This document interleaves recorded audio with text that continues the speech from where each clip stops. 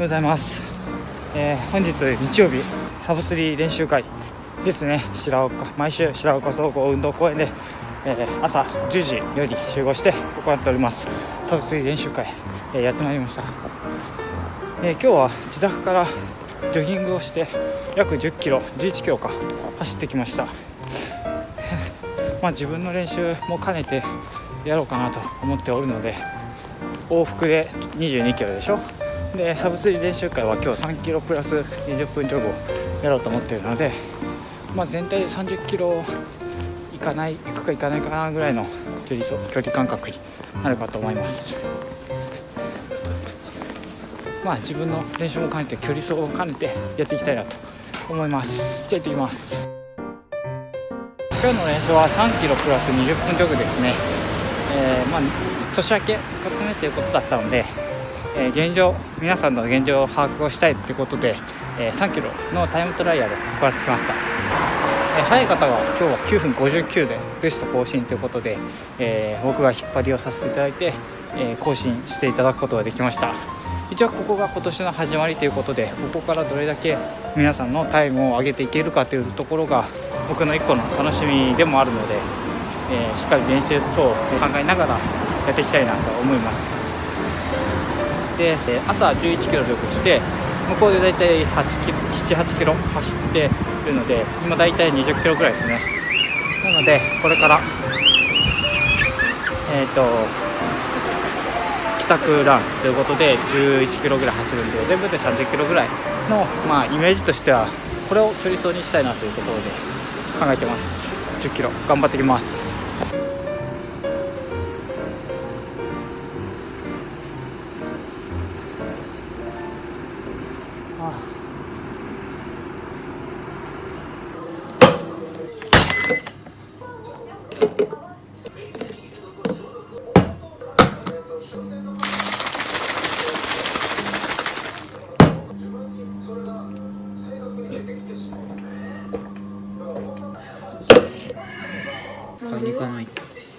通された？コムに。いや。ネジがなんかどっかいつの間にかなくなってた。いそれ？ただきます。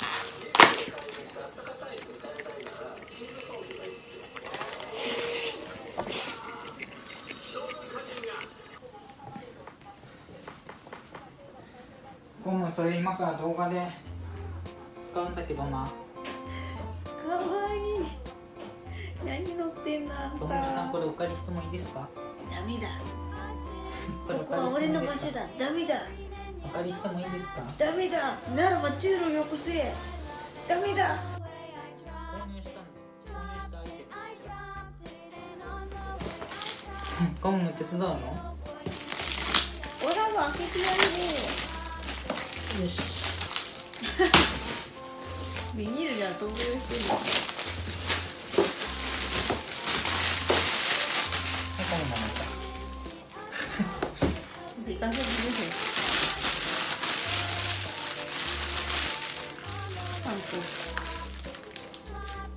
クリスマスプレゼント。ツ7月やで今。でさ何がいい？の、く空気がきれいになるってことなんか消臭機能があるやつでまあアマゾンでうん。うんまあお手頃うん。で消臭うん。効果があるやつを選んでこれはこれだったんだけどでレビューが一番いいやつうん。にしたんだけど。うん。消臭効果って期待できるの？空気清浄機とか使ったことある？衝撃の事実言っていい？うん。私が欲しかったのは加湿器です。あでもこれ加湿もしてくれんじゃないの？そうなの。空気清浄はおまけでおまけで欲しかったぐらいで本当は加湿器が一番欲しかったです乾燥がやべえんだこの家。いや普通に嬉しいけどね。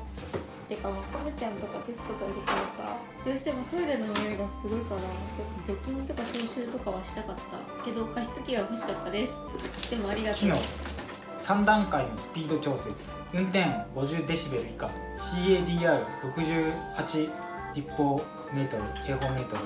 適用床面積8畳おここ8畳だっけ？いや10畳ぐらい。14畳ですねキッチン含めて。先進的なヘパフィルター。フィルター交換お知らせランプ付き。夜間ライト。空気中の花粉を99.97%除去。やばない？これだってじゃあさ杉の木とかの近くまでしたらさ 杉の木から花粉なくなっちゃうの？真っ黄色なんですよ。で3つの高性能フィルター。プレフィルターヘパフィルターおよび脱臭炭フィルター。達成感はいいんじゃない？空気清浄機ってめっちゃ高いと思ってたのに。2万とかすると、そこ8000円ぐらいなの。うんへえだからなんかまあそのぐらいだったら家の空気がきれいになるんだったらいいなと思って。イエーイ。イエ今回購入してみました。ーイ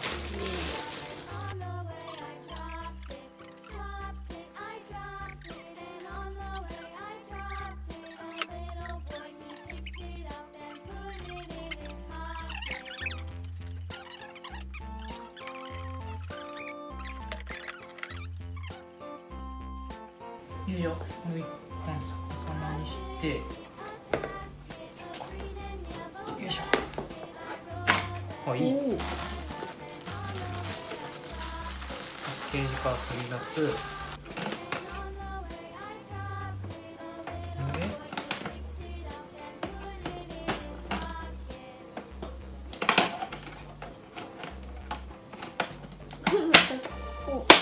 はい来た。空気清浄機をコンセントにつなぐと音が鳴ります。お。えい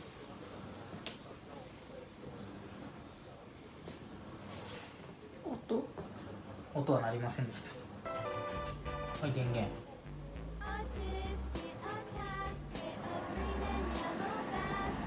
ああいい匂いがする。来てんいい匂いする。あの飛行機の中とかの匂いがする。いい匂いではねえな。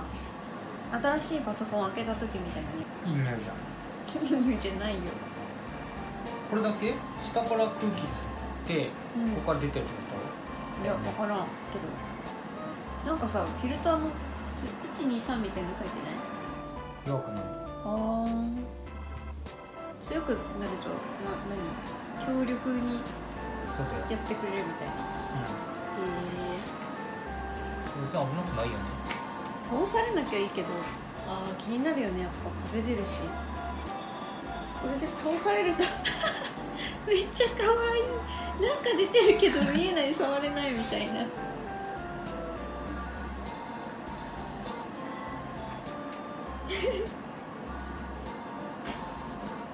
いい匂いがする？いい匂いではないよねともちゃん。他説明は？いやマジでこんだけ。へえ。使い方はもうそれだけなの？じゃあこれこの辺置いとくかうんストルセーバー2とか1でいいんじゃないか。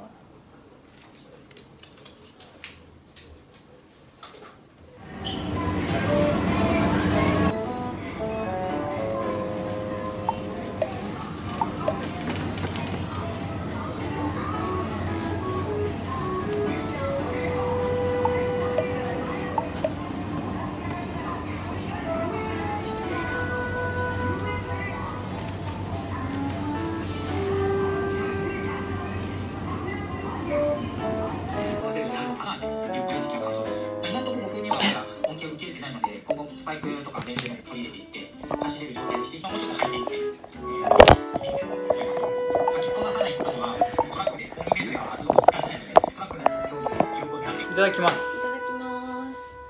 今日は我が家は焼肉なんですけどイエイ。これどこのやつ？岩手のなんか名産なのかわかんないけどお土産コーナーに売ってた。岩手の地ビール？みたいなやつじゃない？わかんない。可愛いから買っちゃった。竹が雲だったから。ベアレンビールってやつですね。これをちょっとねお土産で買ってきたってことで自分どっちがいい？え半々で半々ってか。味違う？味比べてみるじゃあ、うん。わかんないけどね。飲んだことないし私も美味しそうだから買ってみた。まずレとかいく？こちらベアレンビールザ・デイ。ザ・デイ。どっちもザ・デイじゃん。えなんかどう違うの？なんか違うんじゃない？麦のあれが違うんじゃないの？あやっぱグラスで飲めって書いてあるよ。あほらね。だってこだわりの色と香りを楽しんでって書いてある。だって可愛いもん映えだよ映え。ワインみたいでしょ。イノベーションとうん。アロマティックだって。えー、あのアロマティックスになる。あでもなんかあれだね。フベリー系？ねよ。フルーティーだよね。フルーティーだね。じゃあいただききます。いただきますあなんかうまっ。フルーティーだね。うまいね。なんかちょっとお茶っぽい。あれの味が近い。黒ビール。黒ビールあんま飲んだことないや。ちょっとせっかく映えるビール飲んでる俺ハイテクハーフの このまだランニング T シャツ着てるんだけ映える T シャツど映えせっかくだから映える映えるクマ着てください。るはい。せっかく熊のビールななのでクマ着ましょうスウェットを着て。可愛いでしょ。これでも暑いのよ。えー、ちょうどいいよ。寒いよ今朝とかはちょうどいいけどぜ絶対寝る時はこれ着れない。多分ね体温バグってると思う 多分。これ全部ついちゃったけどこっちの飲み比べしたいな。これともう一個あんの？グラス。おチョコ。1均で買いました。えー、透明のチョコ可愛いでしょ？ダイソーで売ってるよ多分。じゃあせっかくなんで飲み比べでこっちアロマティックベアレンビール。いただきましょう。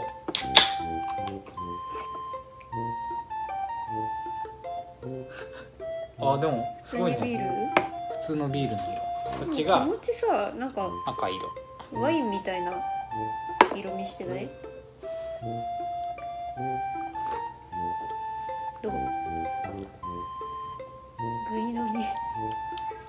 まい。そう。いる？一口。グイ飲み。グイ飲み。あでも確かにどっちもうめえな。ああ私こっちの方がちょっと好きかも。多分うんとなんだホワイトベルグみたいな。ホワイトベルグで通じる？なんていうのああいうの。どどう違うなんかどっちもさうまいんだけどさ。うん。味の感覚が分かんない。うまいっていう感じしかないもん詳しくは知らないけど多分こっちの方がなんていうのお花お花っぽいなんていうの？どこの高貴な生まれなの君は？いやいやいやえホワイトベルグみたいなああいうのってなんていうの？マジで。フルーティーなんていうのかな？あオレンジピール的な？オレンジペールっていうかなんか香りが柔らかいというかなんていうの？ああいうの。あっさりしてない？黄緑の方は。あまあそう言われるとねちょっことっちの方が結構苦味強いね。あそうそうそうそう。赤の方が。うん。緑の方が飲みやすい。すきっ腹に酒を飲んでるから結構酔ってくるね。そあてかアルコール高い？もしかして。度数いくつなんだ？あ4.5低いね。うち5.5だって。お得じゃん。赤の方が。お得じゃん。すぐ酔えるよ。ちなみにこれいくらだった？一えー、忘れた。2個パックで売っててお土産屋さんに。本500円ぐらい。もっと高いいやうわマジで忘れた。でも4500円とかじゃないかな。多分ね。400円だったら安くない？2本でだよ。2本で、うん。まあ、1本200円ぐらいなんじゃない、大体ビールってさプレモルとかはそんぐらいしない？まあ、230いくらとか。プレモル買うんだあーうーん。もうプレモルやっぱうまいよ。泡が。俺プレモル飲んだことあんまない。